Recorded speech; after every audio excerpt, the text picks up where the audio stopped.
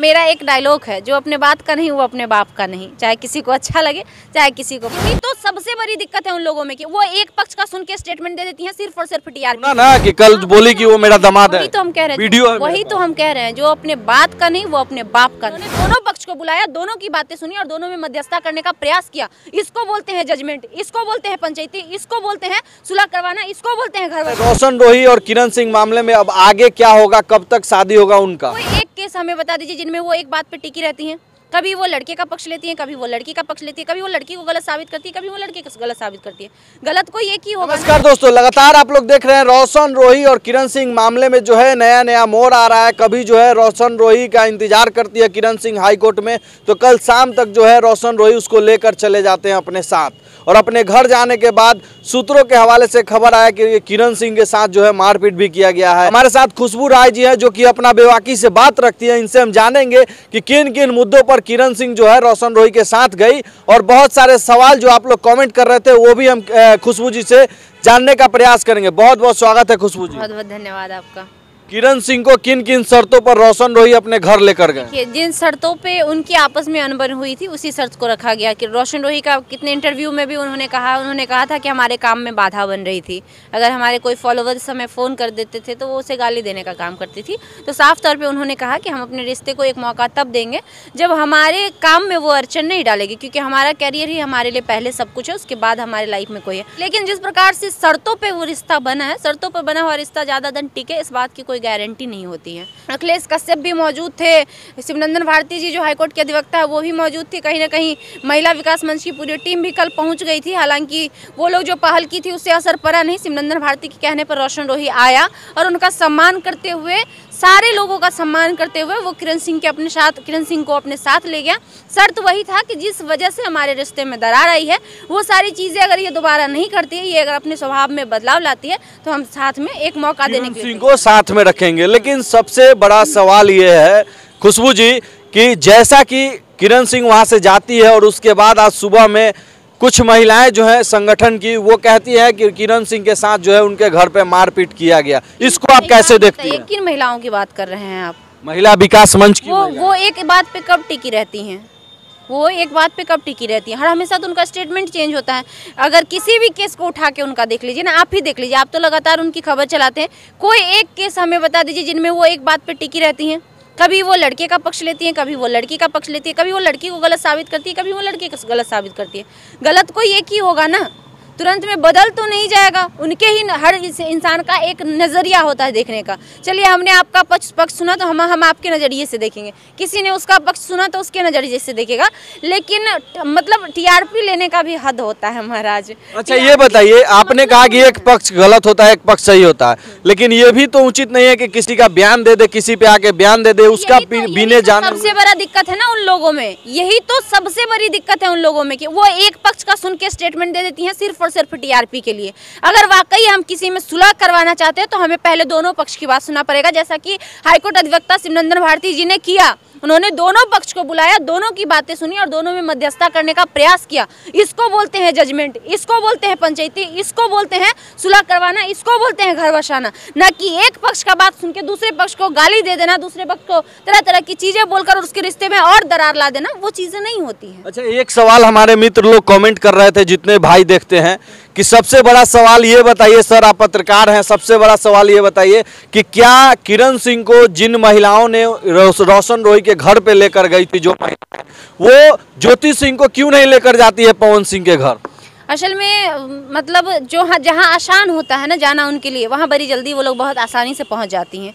और आ गई बात पवन सिंह के घर पे, ज्योति सिंह को ले जाना, वो उतने, उतना आसान नहीं है जितना आसान ज्योति को रोशन के घर पे ले जाना था। अगर वो होता, अगर पवन सिंह भी रोशन सिंह की कैटेगरी का होते तो शायद वो जा सकती थी। इनफैक्ट उन्होंने प्रयास भी किया, इस चीज़ का प्रयास भी किया, ज्योति से संपर्क भी किया। इनफैक्ट ज्योति के पक्ष में वो बयानबाजी भी कर रही थी, लेकिन अचानक से उनका सूढ़ ही बदल गया, ये तो हर कोई जानता है। ये हम नहीं कह रहे, ये आप ही के, आप ही लोगों के चलाए बनाए हुए वीडियो ये कह रहे हैं कि जो वीना मानवी कल तक ज्योति सिंह का पक्ष ले रही थी या फिर जो भी वॉट वीना मानवी नहीं पूरी महिला विकास मंच की जो महिलाएँ हैं उनका कि जो कल तक ज्योति की पक्ष ले रही थी आज वो पवन सिंह का ले रही हैं। अब पवन सिंह की से उनकी पर्सनली क्या बातचीत हुई ये तो हम भी नहीं मतलब जानते। छोटे कलाकार हैं तो आप उनके घर पे चढ़ जाइएगा। आप पवन सिंह बड़े कलाकार हैं तो उनके पास नहीं जा पाइएगा। जिस जहाँ तक क्षमता होगा आप वहीं तक उड़ सकते हैं ना। आपका जहाँ तक क्षमता मतलब ये कहाँ नि- का नियम है कि छोटे आदमी अगर आपके संगठन में आते हैं तो आप उसको दबा दीजिएगा और बड़े लोगों के पास आप ये हर जगह होता है। ये हर जगह हर जगह होता है हर फ़ील्ड में होता है। हर जगह और हर फ़ील्ड में होता है। जहाँ एक मामूली इंसान होता है उसका रिस्पेक्ट नहीं दिया जाता और वही इंसान अगर पैसे वाला हो अगर किसी बड़े ओहदे पे हो तो उसका रिस्पेक्ट होता है। ये सच्चाई है। ये दुनिया की सबसे बड़ी सच्चाई तो यही है आज की डेट में। अच्छा एक सवाल और रहेगा। मेरा कमेंट में आया वो भी सवाल मेरे कमेंट में हम आपको दिखा देंगे। र- मेरे मित्र जो हैं, वो कमेंट किए हैं कि, सर, ये बताइए कि रोशन रोही रोशन रोही जो है, वो बीना मानवी जी का बयान आता है कि रोशन रोही छुछुन्नर है, ये है मतलब गलत गाना गाता है भोजपुरी में अश्लीलता फैलाता है और पवन सिंह को भी घंटा का स्टार कहती थी। लेकिन पवन सिंह से मिली तो बयान बदल गया। रोशन रोही से कल मिली तो उनको दामाद बना ली। इस बयान को आप कैसे देखती हैं? नहीं असल में इंसान की पहचान हम मेरा एक डायलॉग है जो अपने बात का नहीं वो अपने बाप का नहीं। चाहे किसी को अच्छा लगे चाहे किसी को बुरा लगे। आपने ये बात सुना ना कि कल बोली कि वो मेरा दामाद है? तो हम कह रहे हैं वीडियो है वही तो हम कह रहे हैं जो अपने बात का नहीं वो अपने बाप का नहीं। और कुछ सुनना चाहते हैं। जिस इंसान को अपने बातों पे कमांड नहीं हो जिस इंसान को अपने विचारधारा पे कमांड नहीं हो जो दर बदर पलट रहा हो उस इंसान की विश्वसनीयता नहीं होती है। और इसी प्रकार अगर माफ़ी चाहेंगे इसी प्रकार अगर महिला विकास मंच की महिलाओं का रुतबा रहा तो आने वाले समय में इनकी विश्वसनीयता एक है अभी तक तो है बचा हुआ कि लोग इन पर भरोसा करते हैं लोग इनके पास जाते हैं। एक उम्मीद कॉमेंट में लिख रहे हैं कि कितना पैसा मिला रोशन रोही की तरफ़ से दामाद बनाने के लिए। सिंपल सी बात है ना आप अपने बातों पर नहीं टिकेंगे तो सवाल तो उठेगा ना। आप जो कहते हैं, अगर हम जनता को, कल मोदी जी जनता को बोले कि हम पंद्रह लाख खाते में देंगे, लेकिन नहीं दिए तो आज उनको फेंको बोला जाता है। जनता कहती है, हम नहीं, पूरी जनता कहती है। तो सिंपल सी बात है कि आप अगर कोई प्रतिष्ठित व्यक्ति हैं, आप अगर एक समाज सेवी हैं तो आपको अपने बातों पर अटल रहना पड़ेगा। आपको अपना स्टेटमेंट और आपको अपना जजमेंट सोच समझ कर लेना पड़ेगा, ना कि पाँच मिनट पहले कुछ और और ना कि पाँच मिनट बाद कुछ और। अगर आप ऐसा नहीं करते हैं तो आने वाले समय में आपकी विश्वसनीयता घट जाएगी। और जो लोग आज आपको सम्मान की नज़र से देख रहे हैं वही लोग कल आपको बेजत करें ऐसे के आरोप को लेकर क्या बोलेंगे? पैसे के आरोप पे हम किसी को प्रमाणित नहीं कर सकते, क्योंकि जब तक हमारे पास किसी बात का सबूत नहीं होता, हम उस पर उंगली नहीं उठाते हैं। ये आप जानते होंगे, हम पहले भी अगर कोई वीडियो बनाते थे, कभी भी इंटरव्यू देते हैं तो हम उस बात पे टिप्पणी करते हैं जिस बात का हमारे पास प्रमाण होता है। हालाँकि ये आरोप, मेरे पास भी बहुत सारे कॉल आए हैं कि उनके ऊपर ये आरोप लगता है कि वो बदले में पैसे लेती हैं। लेकिन हमारे पास अभी ये प्रमाण नहीं है। लेकिन जिस दिन हमारे पास अगर कभी प्रमाण लेकर कोई आता है कि हमारे साथ ऐसा हुआ है और इस बात का प्रमाण मिलता है तो हम ये भूल जाएँगे कि वो एक महिला विकास मंच की अध्यक्ष हैं, क्योंकि हम कभी भी गलत का साथ नहीं देते, चाहे वो कोई भी हो।